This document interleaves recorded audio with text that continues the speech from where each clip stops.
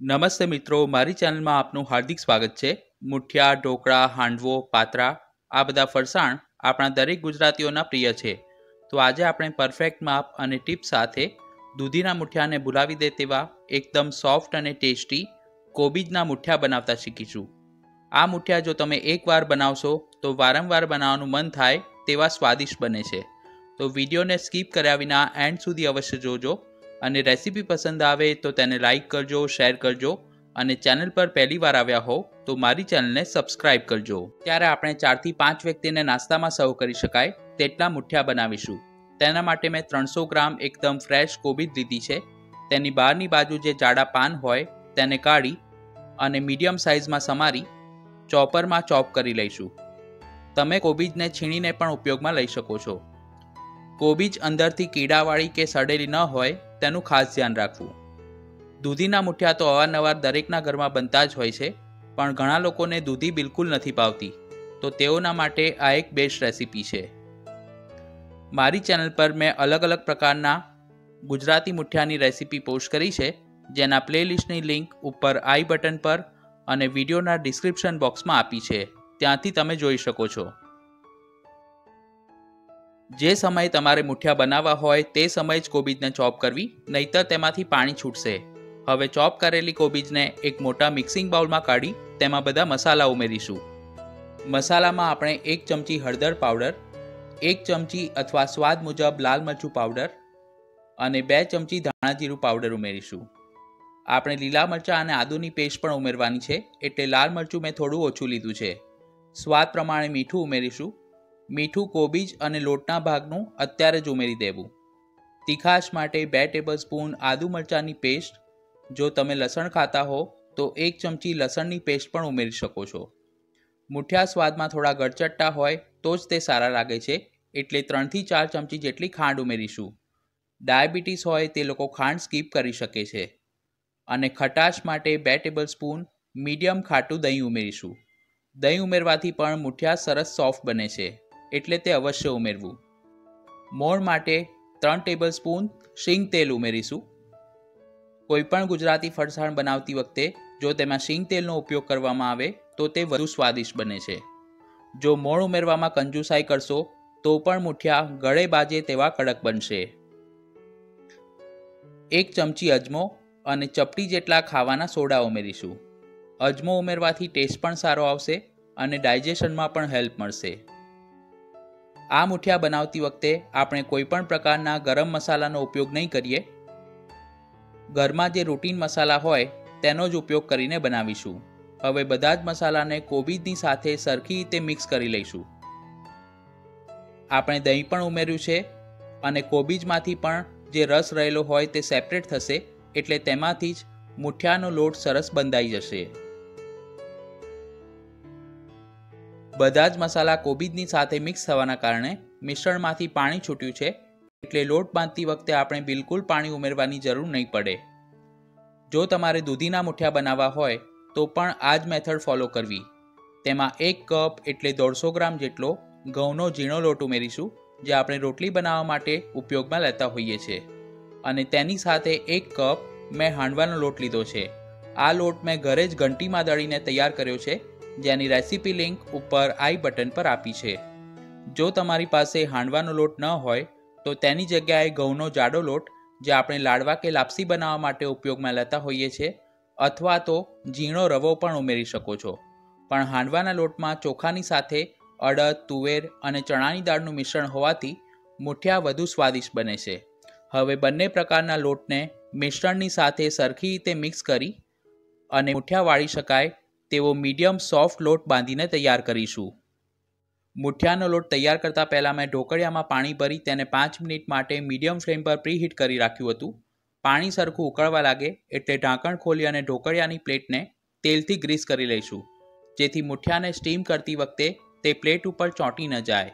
તમારી પાસે આ રીતનું ઢોકળિયું ન હોય તો મોટી કડાઈમાં થોડું પાણી ભરી તેમાં કાંઠલો અને પ્લેટ મૂકીને પણ મુઠિયાને સ્ટીમ કરી શકો છો. જુઓ, આપણે બિલકુલ પાણી ઉમેર્યા વિના આ રીતનો મીડિયમ સોફ્ટ લોટ તૈયાર કર્યો છે. લોટ જો તમારો કઠણ હશે, તો પણ મુઠ્યા પ્રમાણમાં ચવડ બનશે. હવે બંને હાથની હથેળીમાં તેલ લગાવી, જે સાઇઝના મુઠ્યા બનાવવા હોય તેટલું મિશ્રણ હાથમાં લઈ અને હળવા હાથે મુઠ્યા વાળી લઈશું. મુઠ્યા વધારે પડતા પાતળા ન બનાવવા, અત્યારે આપણે મીડિયમ સાઇઝના બનાવી રહ્યા છીએ. હવે વાળેલા મુઠ્યાને પ્રીહીટ કરેલા ઢોકળિયાની પ્લેટ ઉપર ગોઠવતા જઈશું. જો તમે ટોટલ ત્રણસો ગ્રામ લોટ લીધો હોય, તો તેમાં ભારોભાર એટલે કે ત્રણસો ગ્રામ કોબીજ ઉમેરવી, તો જ મુઠિયા એકદમ પોચા રૂ જેવા બનશે.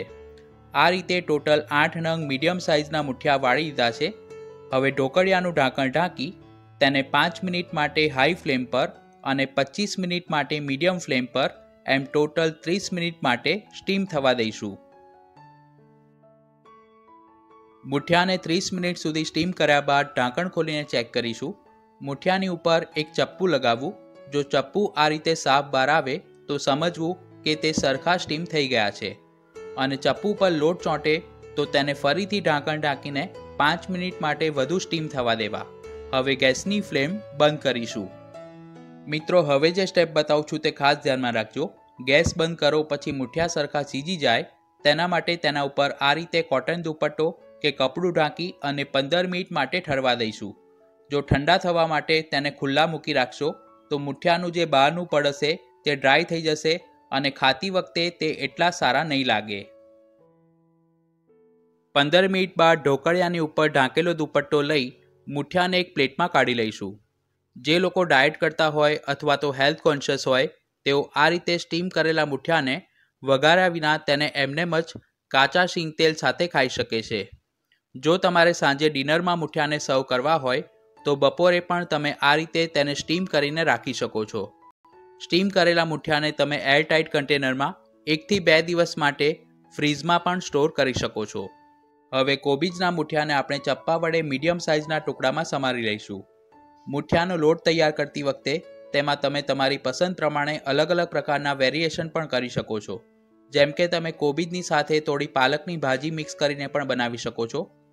તેમાં થોડો જુવારનો લોટ પણ ઉમેરી શકો છો. આ એક ટ્રેડિશનલ વાનગી છે એટલે દરેકના ઘરના રિવાજ પ્રમાણે તે અલગ અલગ રીતે બનાવાતી હોય છે. ઘણા લોકો મુઠિયામાં બાજરીનો લોટ પણ ઉમેરતા હોય છે. આ રીતે આપણે બધા જ મુઠિયાને સમારી લીધા છે. મુઠિયાને વઘારવા માટે ગેસ પર એક કઢાઈ મૂકી, તેમાં ત્રણ ટેબલ સ્પૂન જેટલું તેલ લઈ, તેને ધીમી આંચે ગરમ કરીશું. પહેલાં મેં જેમ જણાવ્યું તે મુજબ, જો સિંગ તેલ લેશો, તો મુઠ્ઠા વધુ સ્વાદિષ્ટ બનશે. તેલ થોડું ગરમ થાય એટલે તેમાં બે નંગ સૂકા લાલ મરચાં ઉમેરીશું. અને તેની સાથે બે ચમચી ઝીણી રાઈ ઉમેરીશું. મુઠિયા, ઢોકળા કે પાત્રાને વગાડતી વખતે ફરસાણવાળા ઝીણી રાઈ એટલે કે ખમણી રાઈનો ઉપયોગ કરતા હોય છે. પાંચ ચમચી હિંગ ઉમેરીશું અને રાઈ સરસ તેલમાં ફૂટે પછી બાકીની સામગ્રી એડ કરીશું. વઘાર કરતી વખતે સફેદ તલ સૌથી છેલ્લે ઉમેરવા કારણ કે તે ખૂબ જ જલ્દી ફૂટવા લાગે છે. સાતથી આઠ નંગ મીઠા લીમડાના પાન ઉમેરીશું, જેની ફ્લેવર મુઠિયામાં ખૂબ જ સરસ આવે છે. આ રીતનો વઘાર તૈયાર થાય એટલે ત્રણ ચમચી સફેદ તલ ઉમેરી અને તેમાં સમારેલા મુઠિયા ઉમેરી, વઘારને હળવા હાથે મુઠિયાની સાથે તાવેથા વડે મિક્સ કરી લઈશું. મુઠિયા બહારથી થોડા ક્રિસ્પી હોય તો જ તે ખાવાની મજા આવે છે. એટલે તેને બેથી ત્રણ મિનિટ માટે સ્લો ટુ મીડિયમ ફ્લેમ પર કૂક કરીશું. ઘણા લોકોના મુઠિયા સ્ટીમ કર્યા પછી એકદમ કડક થઈ જાય છે. જો તમારાથી ક્યારેક એવું થાય, તો વઘારમાં ચાર ટેબલ સ્પૂન જેટલું પાણી ઉમેરવું, પછી મુઠિયાને વઘારવા.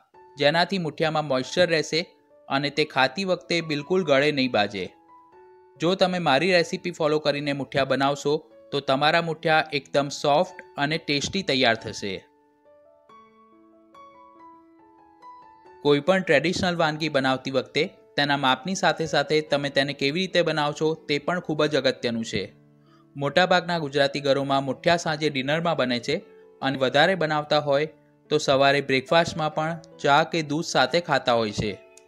ઘરમાં નાના મોટા દરેકને ભાવે તેવા કોબીજના મુઠ્યા બનીને તૈયાર છે. છેલ્લે તેના ઉપર થોડુંક ફ્રેશ ખમણેલું કોપરું ભભરાવી તેને ગરમા ગરમ સર્વ કરીશું. જોતાં જ ખાવાનું બંધ થઈ જાય તેવા એકદમ સોફ્ટ અને સ્વાદિષ્ટ કોબીજના મુઠિયાને મેં ટોમેટો કેચઅપ અને કોથમીર ફુદીનાની ગ્રીન ચટણી સાથે સર્વ કર્યા છે.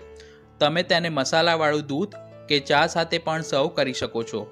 તો ફ્રેન્ડ્સ, તમે પણ આ રેસીપી ઘરે જરૂર ટ્રાય કરજો અને વીડિયો પસંદ આવી હોય તો તેને લાઇક કરજો, શેર કરજો અને ચેનલ પર પહેલીવાર આવ્યા હો તો મારી ચેનલને સબસ્ક્રાઇબ કરી બાજુમાં આપેલા બેલ આઇકોન પર ક્લિક કરજો. તો ફરીથી મળીશું એક નવી રેસીપી સાથે. Thanks for watching this video